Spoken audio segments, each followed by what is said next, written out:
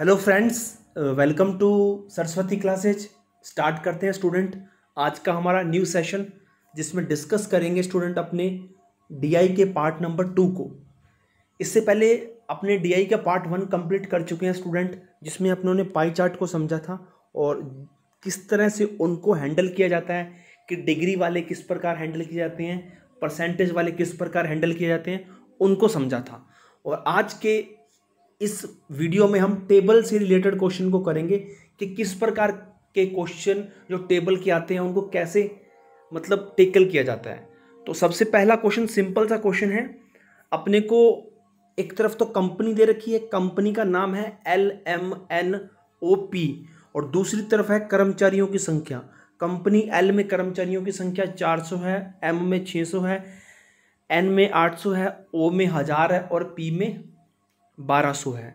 तो इसी प्रकार कंपनी एल में महिलाओं, यानी मेल और फीमेल का जो रेशो दे रखा है, कंपनी एल में टोटल कर्मचारी तो कितने हैं? 400 लेकिन वहाँ आपको देखने को मिलेगा मेल एंड फीमेल का रेशो कितना है? बारह अनुपात आठ। उसी प्रकार कंपनी एम में रेशो दे रखा है पंद्रह अनुपात पाँच, कंपनी एन में चौदह, चार अनुपात एक, कंपनी ओ में तेरह अनुपात बारह और कंपनी पी में सात अनुपात पाँच। तो ये अपने सामने टेबल दे रखी है। टेबल में कंपनी के टोटल कर्मचारी और उधर दूसरी तरफ़ अपने को दे रखा है, मेल, फीमेल का रेशो। तो क्वेश्चन देखिए, क्वेश्चन अपने पास है, कंपनी पी में कार्यरत महिलाओं की संख्या। कंपनी जो पी है, उसमें महिलाओं की संख्या और कंपनी एल में कार्यरत महिलाओं की संख्या का अनुपात निकालना है। यानी कंपनी पहले तो पी दे रखी है, इसमें अपने को महिलाओं की संख्या निकालनी है, फिर कंपनी एल में महिलाओं की संख्या निकालनी है, फिर दोनों का रेशो निकालना है। अगर आपने रेशो को कंसेप्ट को समझा होगा तो मैंने आपको रेशो के कॉन्सेप्ट में क्या समझाया? कि टोटल रेशो का मान equal to total amount total ratio देखिए, यहाँ टोटल रेशो तो दे रखे सात और पाँच कितने होते हैं? बारह। और टोटल अमाउंट कितने हैं? बारह सौ। यानी एक का मान कितना आ गया स्टूडेंट सौ। और मुझे चाहिए कंपनी पी में महिलाओं की संख्या।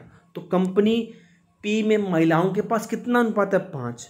एक का मान सौ है तो पाँच का मान कितना हो जाएगा? पाँच सौ। यानी मेरे पास कंपनी पी में महिलाओं की संख्या तो आ गई पाँच सौ। और अगर मेल की पूछता तो मेल कितने आ गए? सात सौ। लेकिन अपने से महिलाएँ पूछी हैं कंपनी पी में महिलाओं की संख्या तो अपनों ने निकाल ली पाँच सौ। ठीक है? अब कहते हैं कंपनी एल में कार्यरत महिलाओं की संख्या। देखिए टोटल रेशो का मान कितने हैं? बीस। और टोटल वैसे कर्मचारी कितने हैं? चार सौ। अब देखिए, ये मेल है, ये फीमेल है। जब दोनों मिलकर क्या बनाते हैं बच्चा? कर्मचारी बनते हैं। तो यहाँ तो कर्मचारी अपने पास रेशो में टोटल है बीस। और वैसे कितने हैं? चार सौ। तो एक का मान कितना है स्टूडेंट बीस। और अपने से पूछा है किसका? फीमेल का तो आठ का मान कितना आ गया? वन सिक्सटी अब देखिए, कंपनी पी में कितने हैं? कंपनी पी में तो पाँच सौ कौन है बच्चा? महिलाएँ। और कंपनी एल में महिलाएँ कितनी होगी? वन सिक्सटी इनका रेशो निकालना था। ज़ीरो से ज़ीरो काट सकता हूँ। उसके बाद दो के टेबल से कटेंगी। ये तो पच्चीस आ गया। और ये कितना आ गया? आठ। यानी कंपनी पी और कंपनी एल में महिलाओं का जो रेशो है, फीमेल का जो रेशो है, वो कितना है? पच्चीस अनुपात आठ। ठीक है? ऑप्शन नंबर बी ये था स्टूडेंट हमारा, मैंने कंपनी एल को यहाँ निकाल रखा है कंपनी पी को निकाल रखा है, उसके बाद कंपनी पी पहले आएगी कंपनी एल बाद में आएगी, दोनों का रेशो निकालना है। नेक्स्ट क्वेश्चन इसी टेबल पर बेस है स्टूडेंट देखते हैं अपने। कंपनी ओ में कार्यरत महिलाओं की संख्या। उस कंपनी में कार्यरत सभी कर्मचारियों की संख्याओं का कितना प्रतिशत है? पहले वो कह रहा है कि कंपनी ओ में कार्यरत महिलाओं की संख्या, यानी कंपनी में महिलाओं की संख्या टोटल कर्मचारियों का कितना प्रतिशत है उस कंपनी में? तो देखते हैं टेबल को एक बार। तो देखिए, कंपनी ओ में कार्यरत महिलाओं की संख्या टोटल उस कंपनी में कर्मचारियों का कितना प्रतिशत है? अब देखिए, मेरे पास टोटल रेशो तो कितना है? पच्चीस। रेशो में तो टोटल है, वैसे टोटल कर्मचारी कितने वन थाउज़ेंड। एक का मान कितना आ गया? चालीस। महिलाओं की संख्या कितनी आ गई? चालीस गुना बारह, यानी बारह चौके अड़तालीस, चार सौ अस्सी। और टोट, देखिए कंपनी ओ में महिलाओं की संख्या आ गई चार सौ अस्सी, यानी फोर एट ज़ीरो। अब क्वेश्चन, देखिए, क्वेश्चन क्या था? कंपनी ओ में कार्यरत महिलाओं की संख्या, यानी कितनी आई? चार सौ अस्सी। उस कंपनी के कर्मचारियों का कितना प्रतिशत है? उस कंपनी, यानी हज़ार। तो क्वेश्चन बन गया चार सौ अस्सी हज़ार का कितना प्रतिशत है?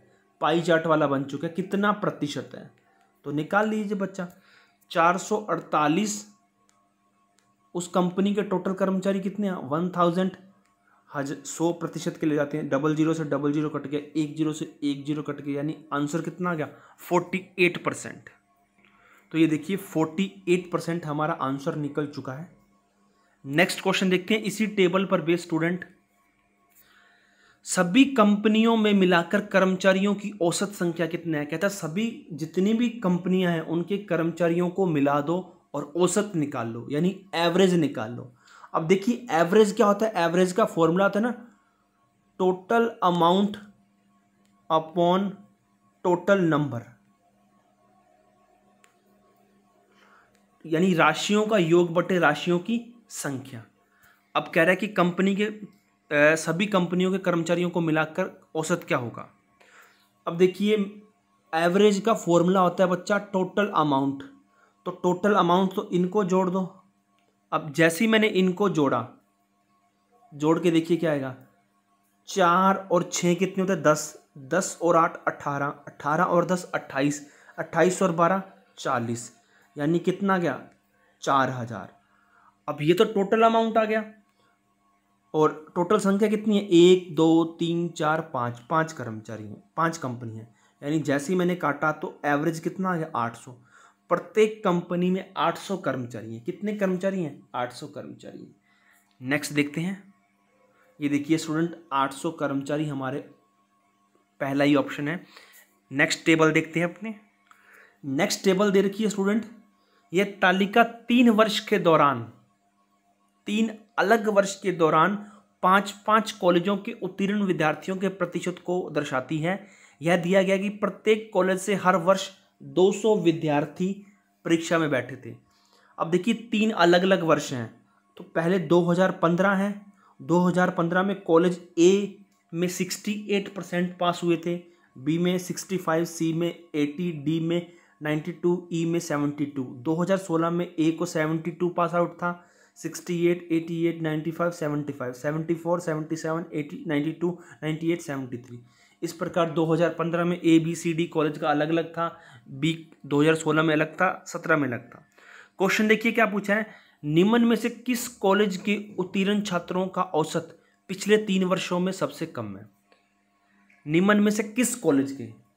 अब देखिए कॉलेज ए कॉलेज ए को पहले साल, यानी 2015 में 68 पास थे, दूसरे साल 72 तीसरे साल 74 इसी प्रकार बी में दे रखा है सी में दे रखा है डी में दे रखा है ई में दे रखा है। कहता है कि मुझे इन तीनों का एवरेज निकालना है, इन तीनों का एवरेज इन तीनों का एवरेज इन तीनों का एवरेज और इन तीनों का एवरेज और देखिए सबसे कम किस कॉलेज का एवरेज है तीनों सालों में पास आउट का? तो मैं निकाल के देखता हूँ। जैसे मैंने इन तीनों को जोड़ा, मुझे पता है एवरेज निकालने का फॉर्मूला होता है राशियों का योग बटे राशियों की संख्या। तो तीनों को जोड़ा, तीनों का जोड़ा है दो सौ चौदह राशियों की संख्या तीन तीन साल थे। तो पहले तीनों सालों में जो ए का पास आउट रेशो है पास आउट परसेंट है, वो है seventy one point three B का निकाला, तीनों को, तीनों सालों को एवरेज परसेंट को जोड़ा, ठीक है? और तीन का भाग दिया तो बी का कितना पास आउट परसेंटेज है? Seventy percent. सी का इसी प्रकार एट्टी सिक्स पॉइंट सिक्स तीनों को जोड़ा। डी में तीनों को जोड़ा और तीन का भाग दे दिया नाइन्टी फाइव आया। और ई e में कितना है? Seventy three point three.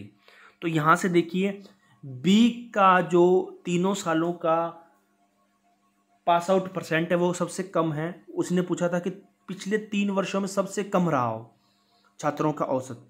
तो बी हमारा ऑप्शन है। नेक्स्ट देखते हैं। इसी टेबल पर बेस्ड क्वेश्चन। वर्ष 2015 में कॉलेज ई e के उत्तीर्ण और अनुत्तीर्ण विद्यार्थियों का अनुपात क्या होगा? वर्ष 2015 में ई के उत्तीर्ण और अनुत्तीर्ण विद्यार्थियों का अनुपात क्या होगा? अब देखिए, आपको ध्यान होगा, ये पूरी की पूरी टेबल उत्तीर्ण की है, यानी पास की है। अब उसने पूछा है कि पास और फेल, यानी अनुतीर्ण क्या होता है? फेल होता है। कहते हैं 2015 में कॉलेज ई के पास और फेल का रेशो बताइए। अब देखिए, आपने यहाँ देखा होगा कि यह जो टेबल है ना बच्चा, ये प्रतिशत को दर्शाती है। उत्तीर्ण विद्यार्थियों के प्रतिशत को दर्शाती है। यानी कॉलेज 2015 में कॉलेज का परसेंट कितना था? 68 तो आपको पता है कि कोई भी चीज़ अपने आप में क्या होती है बच्चा? 100 परसेंट अब उसने कहा कि 2015 में कॉलेज ई के पास और फेल का परसेंट बताइए रेशो बताइए। तो मुझे पता है कि कॉलेज ई ये रहा और 2015 ये रहा यानी कोई भी चीज़ अपने आप में हंड्रेड परसेंट होती है सेवेंटी टू परसेंट तो पास आउट था। और पीछे रह कितना गया? ट्वेंटी एट परसेंट फेल रहा, क्योंकि कोई भी चीज़ अपने आप में हंड्रेड परसेंट होती है। तो ये तो है स्टूडेंट पास का और ये है फेल का। रेशो निकालना था रेशो में निकाल लेता हूँ। परसेंट से परसेंट काट सकता हूँ। अब जैसे ही मैंने काटा, ये छत्तीस पे कट गया, दो से ये चौदह पर कट गया, और दो से कट सकते हैं, ये अठारह पर कट गया, और ये सात पर कट गया। यानी 2015 में कॉलेज ई के पास और फेल का रेशो कितने हैं? अठारह अनुपात सात। देखते हैं अपने। अब देखिए, कॉलेज ई। तो अठारह अनुपात सात, ये रहा। नेक्स्ट क्वेश्चन देखते हैं। वर्ष 2016 कॉलेज सी के उत्तीर्ण और वर्ष 2017 कॉलेज ए के उत्तीर्ण छात्रों का अनुपात ज्ञात कीजिए। पहले वर्ष 2016 में सी और 2017 में इनका उत्तीर्ण छात्रों का रेशो निकालना है। अब देखिए, वर्ष 2016 में सी तो सी में कितने पास आउट हुए थे? 88 और वर्ष 2017 में ए, ये कितने सेवेंटी फोर यानी रेशो निकाल दो इनका। टेबल से काटा तो कितने पे कटा ये चौवालीस पे और ये सैंतीस पे। और आगे नहीं कट रहे तो इनका रेशो कितना गया? Forty four ratio three seven देखते हैं अपने। तो ये देखिए student forty four ratio three seven next देखते हैं। ये तो थे जो मैंने दो क्वेश्चन आपको करवाए थे, वो तो थे, यानी ऐसे क्वेश्चन जब आपसे पूछा जाता है, एक टेबल दे तीन क्वेश्चन पूछे जाते हैं। लेकिन जो अब मैं आपको करवा रहा हूँ, वो सिंगल टेबल है और सिंगल क्वेश्चन है। जिस प्रकार के क्वेश्चन डी ट्रिपल एस भी अपने एग्ज़ाम में पूछता है। एक ही टेबल पर एक ही बेस क्वेश्चन होता है। अब देखिए, निम्न तालिका एक समाज के प्रत्येक घर में बच्चों की संख्या को दर्शाती है। देखिए, प्रत्येक घर, ऐसा घर जिसमें ज़ीरो बच्चे हैं, वो घर कितने हैं? सात। और ऐसे ऐसे घर जिनमें एक एक बच्चा है, वो कितने घर हैं? सात। और ऐसे घर जिनमें दो दो बच्चे हैं और वो घर कितने हैं? तेरह। और ऐसा घर जिसमें तीन बच्चे हैं और टोटल घर कितने हैं? तीन। अब देखिए, जिनमें ज़ीरो बच्चे हैं, वो तो सात घर हैं। जिनमें एक बच्चा है एक एक बच्चा है, वो सात घर हैं।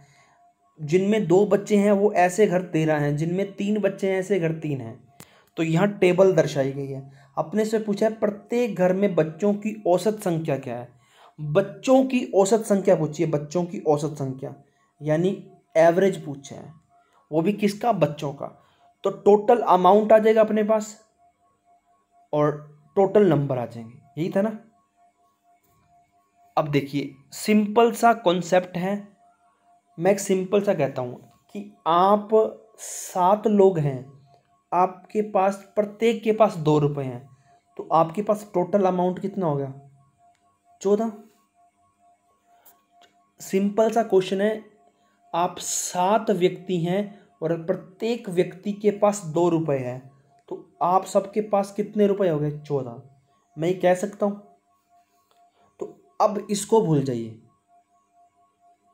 आपके पास टोटल चौदह रुपए हैं और आप सात व्यक्ति हैं तो प्रत्येक व्यक्ति को कितने रुपए मिलेंगे?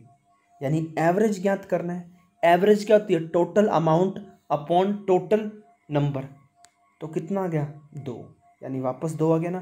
तो अब यहाँ अपने को टोटल क्या चाहिए? बच्चों की औसत संख्या. औसत संख्या होती है टोटल अमाउंट यानी देखिए, ऐसे व्यक्ति जिनमें ज़ीरो बच्चे हैं और ऐसे घर कितने हैं? सात.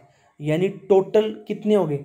सात इंटू ज़ीरो यानी टोटल हो गए ज़ीरो और ऐसे घर जिनमें एक बच्चा है और घर कितने टोटल सात। यानी सात इंटू एक, सात। इनको ऐसे समझ ली ना कि सात व्यक्ति हैं जिनके पास ज़ीरो रुपए हैं। तो टोटल रुपए कितने हो गए उनके पास? ज़ीरो। ऐसे सात व्यक्ति जिनके पास एक एक रुपए हैं तो टोटल कितने हो गए सात। ऐसे व्यक्ति जिनके पास, प्रत्येक के पास दो दो रुपए हैं और टोटल व्यक्ति कितने हैं? तेरह। तो टोटल कितने हो गए छब्बीस। ये कितने हो गए नौ। तो टोटल अमाउंट कितना आ गया मेरे पास? छब्बीस और नौ कितने होते हैं बच्चा? सैंतीस सैंतीस और सात कितने होते हैं? चुमालीस कितने होते हैं? सॉरी सैंतीस यहाँ था, नौ और ये कितने हो गए? छब्बीस और ये कितने हो गए? सात। ये कितने हो गए बच्चा? ये हो गए पैंतीस पैंतीस और सात कितने होते हैं? बयालीस। यानी टोटल अमाउंट तो कितना मेरे पास आ गया? बयालीस। कितना आ गया? बयालीस। अब मुझे एवरेज चाहिए। एवरेज क्या होती है बच्चा? बयालीस और नंबरों की संख्या। अभी मैंने आपको समझाया था ना कि आपके पास, आप सात व्यक्ति हो प्रत्येक के पास दो रुपए हैं तो कितने हो गए चौदह। अगर मैं इसको काट देता हूँ तो क्वेश्चन बनेगा, आपके पास टोटल चौदह रुपये आप लोगों के पास और आप प्रत्येक व्यक्ति हो सात। तो कितने रुपए आ गए दो। अब आपके पास टोटल बयालीस रुपये हैं। कितने? बयालीस। और अब टोटल व्यक्ति कितने? हो सात और सात चौदह चौदह और तेरह कितने होते हैं? चौदह और तेरह। ठीक है? चौदह और तेरह। सत्ताईस सत्ताईस और तीन कितने होते हैं? तीस। तो बयालीस अपॉन तीस आ चुका है। इसको काटा तो ये कितने पे कटा? चौदह अपॉन दस कितना रहेगा एक पॉइंट चार। तो प्रत्येक घर में कितने बच्चे आएँगे? एक पॉइंट चार। ठीक है बच्चा? राशियों का योग बटे राशियों की संख्या, ये कॉन्सेप्ट होता है। नेक्स्ट डेटा तालिका के आधार पर निम्नलिखित प्रश्नों के उत्तर दीजिए। एक तरफ़ तो जनवरी, फरवरी, मार्च, अप्रैल अपने को दे रखा है। दूसरी तरफ़ संचयी उत्पादन दे रखा है छः सौ नब्बे, तेरह सौ चालीस, दो हज़ार चालीस, सत्ताईस सौ दस, इकतीस सौ पचास, पैंतीस सौ दस। अब एक नई चीज़ यहाँ आती है, शुमार होती है स्टूडेंट मीन, मोडियन और वो वाली। आपने कॉन्सेप्ट देखा होगा संचयी का। संचयी बारंबारता, है ना? फ्रीक्वेंसी चार्ट देखा होगा आपने। देखा होगा ना फ्रीक्वेंसी चार्ट अगर मैं यहाँ फ्रीक्वेंसी चार्ट क्या होता है? मैं आपको एक बना के दिखाता हूँ। ये एज है। पहले यहाँ यहाँ बना के दिखाता हूँ।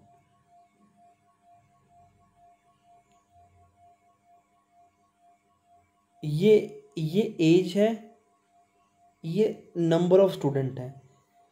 एज है पाँच व्यक्ति, पाँच साल ऐसे व्यक्तियों की नंबर है छ एज है जिनकी छः साल, ऐसे व्यक्तियों की संख्या है आठ। और एज है सात साल, ऐसे व्यक्तियों की संख्या है नौ। अगर संचयी बारंबारता, यानी फ्रिक्वेंसी में मुझे टेबल क्रिएट करना हो तो मैं इस प्रकार क्रिएट करता हूँ ना बच्चा? ये एज का फैक्टर आ गया, ये नंबर का फैक्टर आ गया, ये संचयी बारंबारता आ गई। ये कितना हो गया? पाँच, छ, सात, ये छ, आठ, नौ। अब मुझे संचयी बारंबारता बनानी फ्रीक्वेंसी ये छः आ गया, छः और आठ चौदह आ गए, आठ और नौ कितने चौदह और नौ कितने आ गए? सत्रह। यानी ये आपस में जुड़ते रहते हैं बच्चा। चौदह और नौ कितने होते हैं? तेईस। ये आपस में जुड़ते रहते हैं। ठीक है? ये इसका फ्रिक्वेंसी निकाली तो छः अगली की निकालूँगा, दोनों को जोड़ूँगा, फिर इनको जोड़ूँगा। तो इस प्रकार से अपने क्या निकालते हैं बच्चा? फ्रिक्वेंसी निकालते हैं। हु इसी तरह बनी हुई है। जनवरी में 690 है तो मुझे पता है कि ये जो फरवरी में जो फ्रिक्वेंसी आई है, इन दोनों को जोड़कर आई है। इन दोनों को जोड़ के है यानी फरवरी में टोटल 1340 तो हो नहीं सकती। यानी इन दोनों का जोड़ कितना है? 1340 यदि जनवरी के पास छः सौ नब्बे हैं तो फरवरी के पास कितने होंगे? 1340 माइनस छः सौ नब्बे। मैंने घटा दिया तो कितने आए बच्चा? चौदह में से नौ गए पाँच और ये छः तो इसके पास, फरवरी के पास कितने आए? छः सौ पचास। कितने आए? छः सौ पचास। अब जनवरी के पास तो आ गए छः सौ नब्बे, फरवरी के पास आ गए छः सौ पचास अब मुझे पता है मार्च मार्च में क्या होगा? फरवरी और मार्च जुड़े होंगे। फरवरी तक तो इसके इसके पास था 690 इसके पास 650 अब मुझे मार्च का निकालना है तो 2040 में से मैं 1340 निकाल दूँगा। तो कितने रह गए? ज़ीरो। ये कितने रह गए? 700 तो इसके पास कितने हैं? 700 इसी प्रकार बच्चा क्वेश्चन पूछा था, जनवरी से शुरू होने वाले माह में निर्मित कारों के संचयी उत्पादन को दर्शाता है। मई और अप्रैल माह में कितनी कारें निर्मित होंगी? तो जनवरी में तो हुई बच्चा 690 फरवरी का निकाला, यानी दूसरे में से पहला घटा दूँगा तो फरवरी आ गई। और मुझे मार्च का निकालना, यानी तीसरे में से दूसरे का निकाल दूँगा टोटल तो सात सौ आ गया। अप्रैल में तीस, चौथे में से तीसरा निकाल दूँगा छः सौ सत्तर, और पाँचवें में से चौथा निकाल दूँगा तो पाँच सौ चालीस। उसने बोल दिया कि मई और अप्रैल। तो मई में तो है छः सौ सत्तर, और अप, मई में है चार सौ चालीस और अप्रैल में छः सौ सत्तर। इनको जोड़ा तो ज़ीरो, एक और ग्यारह, यानी ग्यारह सौ दस आ रहे हैं। ठीक है बच्चा? जो कि ऑप्शन नंबर डी है हमारा। ठीक है बच्चा? नेक्स्ट क्वेश्चन देखते हैं।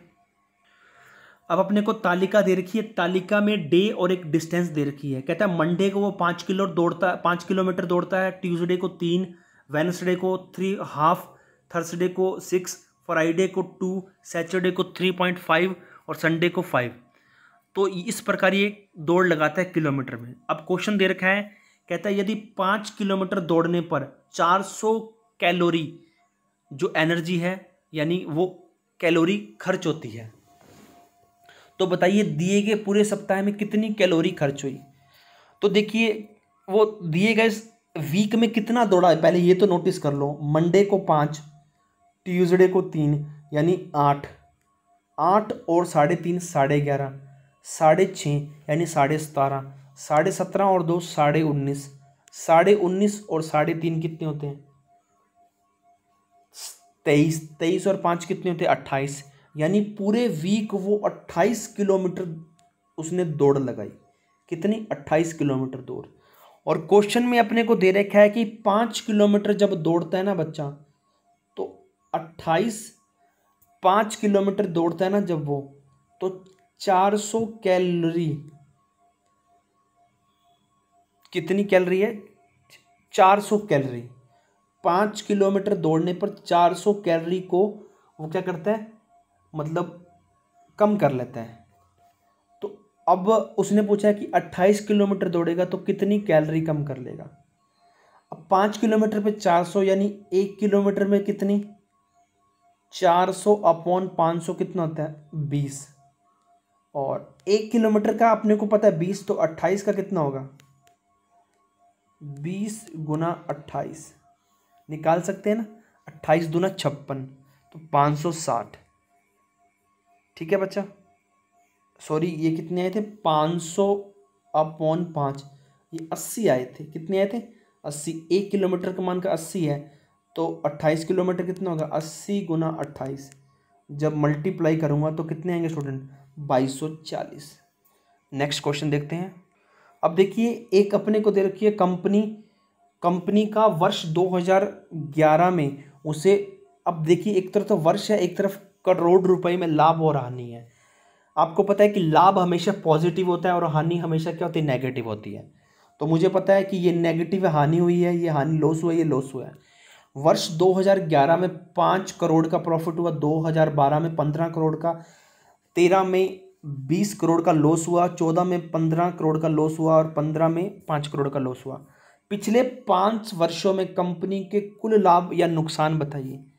अब मुझे पता है कि 2011 में पाँच पर, पाँच करोड़ का लाभ हुआ, पंद्रह में, बारह में पंद्रह, यानी इन दो सालों में उसे बीस करोड़ का क्या हुआ बच्चा? लाभ। और लॉस निकालिए तीनों सालों का। बीस, पंद्रह, पैंतीस और पाँच, चालीस। तो दो, ये पाँच साल है। पाँच सालों में, पहले दो सालों में तो उसे बीस करोड़ का प्रॉफिट हुआ और लास्ट तीन सालों में से चालीस करोड़ का लॉस हुआ। यानी ओवरऑल मुझे बता दीजिए, उसे लॉस हुआ या प्रॉफिट हुआ? तो उसे लॉस हुआ बीस करोड़ का। कितने का? बीस करोड़ का। तो ऑप्शन नंबर सी है हमारा। नेक्स्ट देखते हैं। अब देखिए, एक तो अपने को क्वेश्चन दे रखा है चालीस और उससे ऊपर बच्चों की संख्या है पच्चीस। तीस और उससे ऊपर बच्चों की संख्या है चुमालीस। बीस और उससे ऊपर बच्चों की संख्या है सिक्सटी वन। दस और उससे ऊपर एटी एट। ज़ीरो और उससे ऊपर एक सौ पाँच। अब सीधी सी बात है बच्चा, मैं ज़ीरो और उससे ऊपर लूँगा, या तो ज़ीरो ले सकता हूँ, या ज़ीरो से ऊपर कितना भी जा सकता है, चाहे वो दस सौ बीस सौ तीस सौ कितना भी जा सकता है। यानी मैं ये कहूँ, इस ज़ीरो से, ज़ीरो और उससे ऊपर के बीच में ये सारे बंदे इंक्लूड होंगे। बिल्कुल होंगे बच्चा, क्योंकि ज़ीरो ज़ीरो तो लेना है और उससे ऊपर लेना है। उससे ऊपर कितना लेना है ये नहीं बताया। तो यानी जितनी टेबल बनी है, ये टोटल एक सौ पाँच बच्चे हैं। आपने एक नोटिस किया होगा, ये पच्चीस है, पच्चीस के बाद चुमालीस चुमालीस के बाद सिक्सटी वन सिक्सटी वन के बाद एटी एट, एटी वन के बाद वन ज़ीरो फाइव। ऐसा मान लास्ट में बड़ा आ रहा है, ये इंडिकेट करता है फ्रिक्वेंसी चार्ट को, यानी संचयी बारंबारता को। अगर ये पच्चीस है, पच्चीस से ये चुमालीस हुए, यानी चालीस और उससे ऊपर तो पच्चीस हैं, और तीस और उससे ऊपर चुमालीस हैं। चुमालीस कब हुए? यदि पहले इसमें इन, अब टोटल इन दोनों का जोड़ चुमालीस है, चुमालीस में से पच्चीस घटाऊँगा तो कितने बचते हैं? उन्नीस। यानी चालीस और उससे ऊपर कितने पच्चीस, फिर तीस और उससे ऊपर कितने उन्नीस, बीस और उससे ऊपर कितने बच्चा? ये आ चुके हैं सात और ये कितने आ चुके हैं? सत्रह। उसके बाद कितने बच्चा? ये भी सत्रह। तो इस प्रकार अपने एक टेबल निकाल सकते हैं बच्चा इनकी। ठीक है, ये सत्ताईस आ चुके हैं। और इस प्रकार ये कितने आ चुके हैं? ये बारह और सत्रह, ये सत्रह आ चुके हैं। ये मैंने टेबल निकाल ली, चालीस और उससे ऊपर, तीस और उससे ऊपर, बीस और उससे ऊपर, दस और उससे ऊपर, ज़ीरो से ऊपर। अगर आपको ये समझ नहीं आता तो सिंपल सा कॉन्सेप्ट तो पता है ना, कि ज़ीरो और उससे ऊपर, यानी कितना ऊपर ये मुझे नहीं बता रखा। यानी मैं ज़ीरो और उससे ऊपर लूँगा। तो यानी मैं ये कह सकता हूँ कि इससे ऊपर दस भी होंगे, बीस भी होंगे, तीस भी होंगे, चालीस भी होंगे, यानी टोटल आ चुके हैं एक सौ पाँच। दस और उससे ऊपर यानी ग्यारह, बारह, दस तो लूँगा। ग्यारह, बारह, तेरह, चौदह, पंद्रह छात्रों, जिसमें छात्रों की संख्या ग्यारह, बारह, तेरह, चौदह, पंद्रह, जिनके ग्यारह अंक है, उनको भी इंक्लूड करूँगा। बारह अंक है, उनको भी इंक्लूड करूँगा। जिनके चालीस अंक है, उनको भी इंक्लूड करूँगा। जिनके पचास अंक है, उनको भी इंक्लूड करूँगा। तो इस प्रकार बीस और उससे ऊपर। यानी मैं ये कह सकता हूँ, उसने क्वेश्चन पूछा है, कितने छात्रों ने बीस या बीस से अधिक अंक प्राप्त किए? अब देखिए कितने छात्रों ने बीस और बीस से ऊपर अंक प्राप्त किए? ये पच्चीस है। जब लास्ट में टोटल जोड़ बढ़ता आ रहा है ना बच्चा इट मीन्स वो फ्रिक्वेंसी चार्ट है, ये उन्नीस आ गया। और ये कितनी आ गई? सत्रह। बीस और बीस से ऊपर कितने किए? सत्रह। और तीस और तीस से ऊपर किए? उन्नीस। यानी टोटल कितने आ चुके हैं? उसने बोला कि बीस या उससे अधिक, लेकिन चालीस से कम। बीस उससे अधिक कितने हैं? सत्रह। और तीस और उससे ऊपर कितने हैं? उन्नीस। ये लेकिन चालीस से कम है। तो ये कितने आगे? उन्नीस और सत्रह कितने आगे? छत्तीस। कितने आगे? छत्तीस। ये हमारे कुछ क्वेश्चन थे जो टेबल ग्राफ के थे। आई होप सो कि आपको समझ आ चुके हैं। धन्यवाद।